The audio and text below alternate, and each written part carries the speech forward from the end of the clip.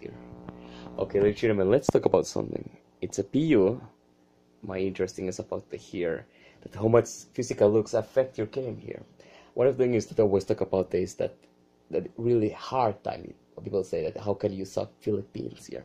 That he had success before, but the success it doesn't always carry on. Okay, let's stay calm here. One of the things is that you see mistakes you do. One of the things approach here is that one of the mistakes here is that it's hard to always stay on stage, you know, right?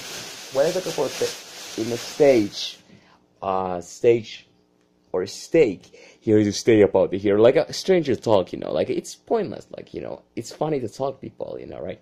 But, you know, no one want to talk right here. It's boring, you know? Never use jeepneys to uh, to talk people, right? you will never write here. Okay, one of the things approach of people in in jeepneys here, right? You just say some funny things here, and I hope that something nice happen about it here, right? It's very good way to think that way.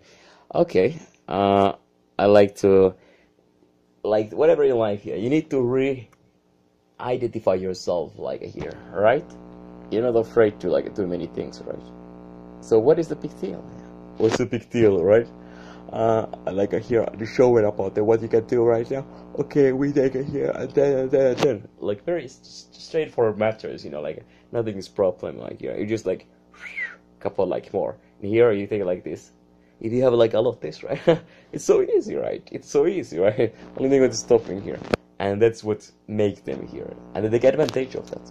So what I think about the here was I'll talk about it here. It's it's the money what gives the old men a leverage here in Philippines here. That's where how they can get here. I don't know the girls really care the men, right?